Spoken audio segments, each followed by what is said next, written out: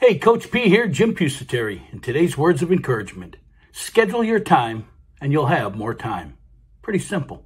But a lot of people don't schedule their time. A lot of people get up each day and just go about their day and they let life live them instead of them living life, instead of them getting done what they want to get done.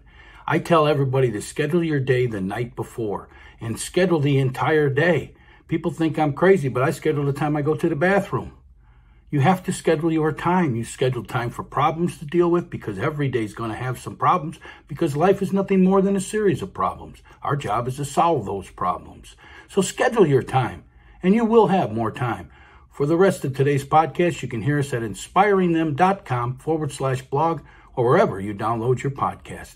Let's have a great day today. Let's move forward. And remember, we're here to help you reach your potential. So let us know. What are you struggling with?